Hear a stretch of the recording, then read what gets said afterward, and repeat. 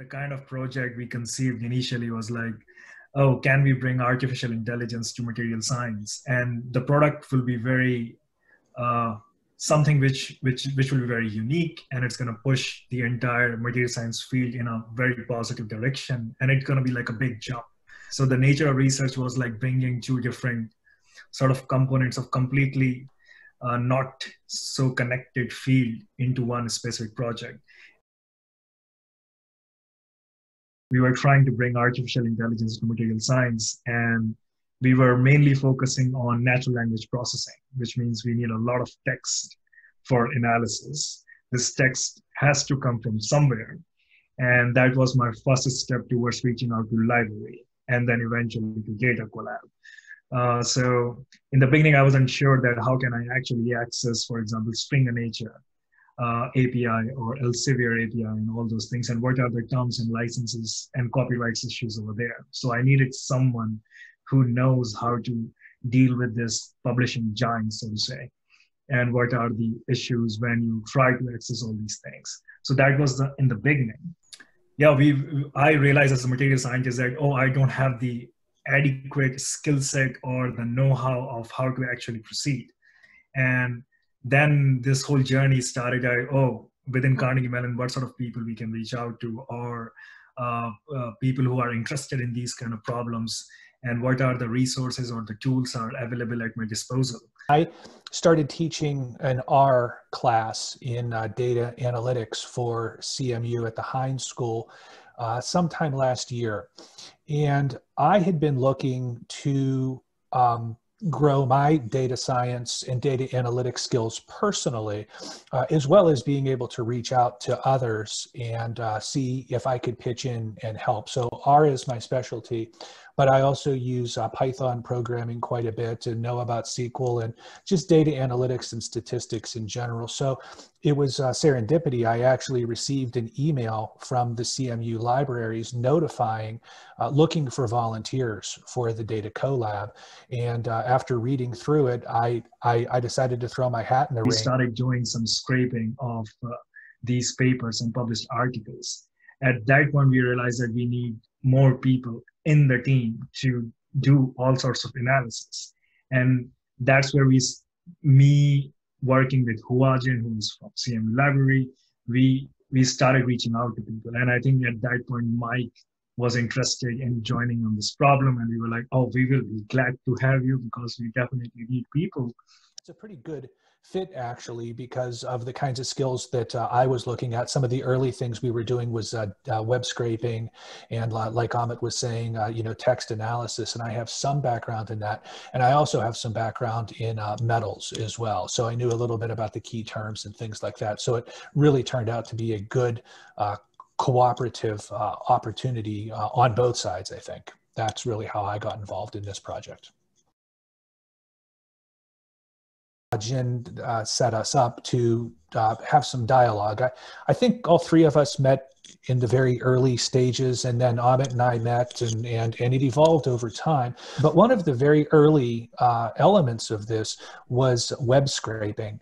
And uh, I had been doing some web scraping with my uh, R class that I was teaching. And I thought, well, this is relatively simple. We can go out to this web page and, and, and pull down some of this data and start to do an analysis on it. And then as the project evolved and we learned more uh, about these sites and about the proprietary nature of the sites and the fact that some of this content is blocked and it's not as simple to get to, the project definitely evolved over time. So initially we just started because of the need of this project. And then we realized, oh, this is expanding at a pace which is which which is not going to be like uh, doable if we have just two or three people in the project. So we started expanding. As of now we have multiple students working in this project. We also collaborated with one of the professor from lti which is languages technology institute within carnegie mellon.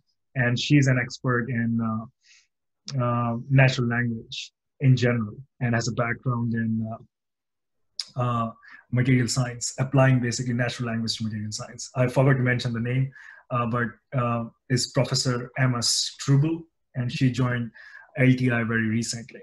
so that is where we are right now it's definitely evolved from the early stages and uh, certainly moved from some of the um, requests at the beginning of the project to uh, to to becoming a more sophisticated uh, project uh, with many more people contributing to it uh, right now. Amit, if I'm not mistaken, it was basically me and you at first with Huajin uh, and, and, and the dataCoLAB, and from there it it, it, it kind of uh, expanded. Yeah, absolutely. Yes. I think I found the what is sort of like the culture within dataCoLAB and within CMU libraries and uh, other places was very welcoming. Uh, and so I didn't find any trouble in the beginning.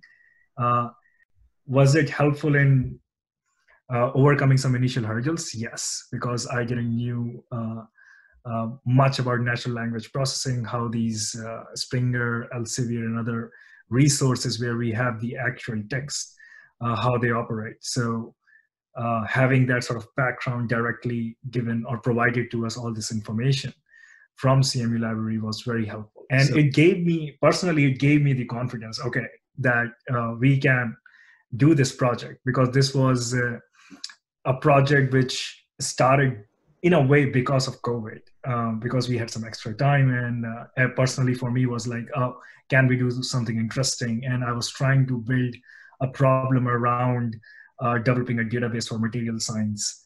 And uh, I wasn't sure how to do this thing. And while when COVID started and things were at home, so we, we were like, oh, this is a competition project we, and we can do something about it. So it gave me confidence after having multiple interaction in the first month that, oh, this is doable.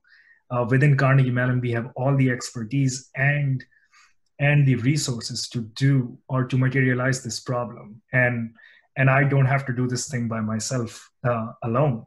Mm-hmm. Uh, so I like very much uh, the nature how it evolved and uh, became its own thing. Now it's not my project; it's basically a project which is shared by ten other people. So mm-hmm. I really enjoyed that whole journey the early discussions that we had, they were uh, moderated. Uh, like Amit said, Huajin um, set some things up, and we had a series of Zoom meetings just like this, and uh, talked over the project and the requirements, and and uh, shared some emails. And, and, I I think there was very little friction to start the project and to and to understand. Again, it evolved over time, to be sure, uh, but very early on, introductions were made, and uh, the project was described as as it was conceived at that time. And uh, I think the collaboration went uh, very, very smoothly. I, I, I, did not find it awkward or uh, difficult at all. Uh, I think the interesting thing about this project was that we didn't have any agenda in this project. It was from the beginning, we all, I think, knew it somewhere. Maybe we were not expressing it explicitly, but we were there was like a known understanding that this is like sort of an exploration of this uh, like the nature of the project is come fundamentally explore this specific intersection of these two fields.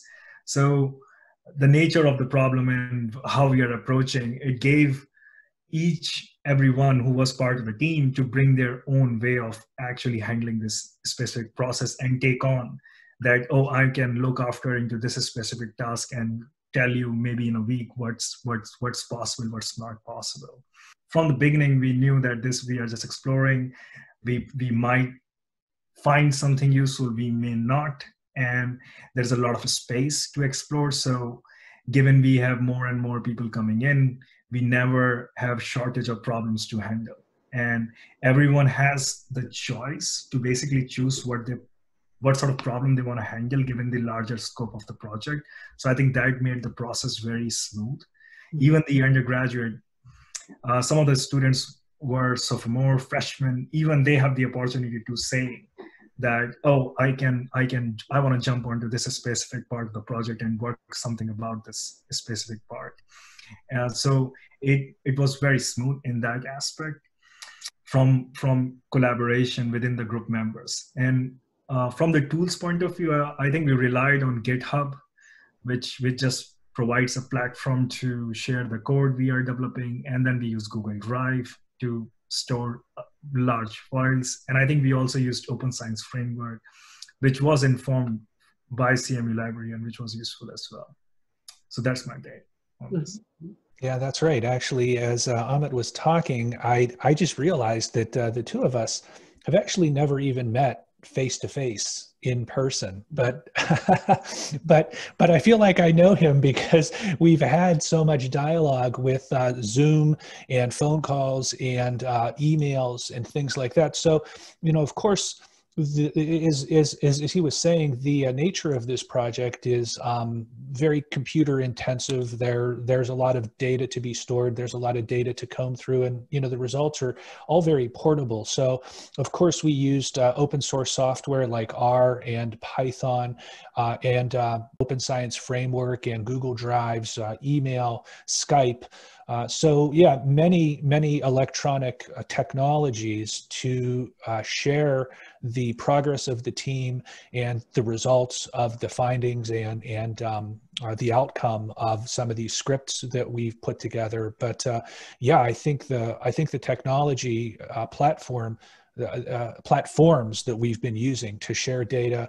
Uh, part of that with CMU, um, part of that on GitHub and uh, independent of CMU, but very much uh, using Skype and email and some of these other uh, features.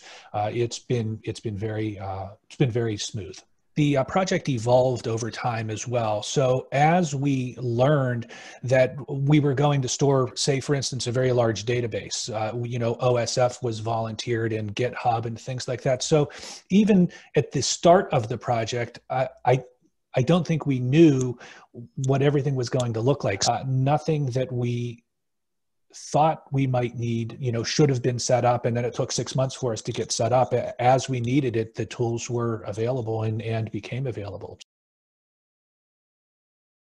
Value is immense uh, because I don't have to get three degrees like I have three degrees in material science in natural language processing to work on this project. So collaboration, the value is literally is, is hard to put into words, is the value is immense on that on that end. Uh, I think the challenges can be communication uh, because these are very technical things uh, sometimes. And if you don't know the basic vocabulary uh, to talk to the other person who is complete from a completely different background, that could be challenging. Um, but in our case, that didn't happen much because I think uh, I have used a lot of programming and coding while I was in grad school. So I, I knew how to communicate with Mike and other people within the group. And even with uh, when Emma joined from LTI, I, we, we have gained enough vocabulary to communicate what we, what we are trying to do. The opportunity, of course, for collaboration is that others have skills perhaps that you don't have. Some of the uh, uh, barriers or obstacles that I found uh, were were surprising to me, and and and I needed to reach out, you know, and talk with some people at the libraries, and and it was very um, collaborative back and forth, and and I was impressed with uh, some of the coding abilities of some people that that eventually joined joined the group, and and you know brought some Python skills and brought some additional libraries and uh, um, things to use that that I hadn't even thought of uh, as well. So obviously, having different perspectives and different skill sets, um, like Amit was saying, you,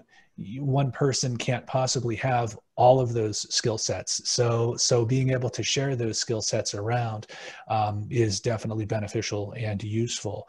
And I agree. The communication, and I would even say uh, in a bit, um, coordination of efforts is somewhat challenging. Uh, sometimes you think perhaps someone's going to do something and they don't, uh, or there are people out there that are duplicating efforts, and and there are two people working on the same thing when when when it might be better, you know, for one person to focus on something and another person to focus on something else. And I would say that, in my opinion, on this project, we we really mitigated a lot of that because I think each of our skills were very somewhat specialized. Like I was looking at web scraping and some of the filtering, and uh, we had an assistant that was also working on some Python code, and everybody had their their own little piece of the puzzle to work on.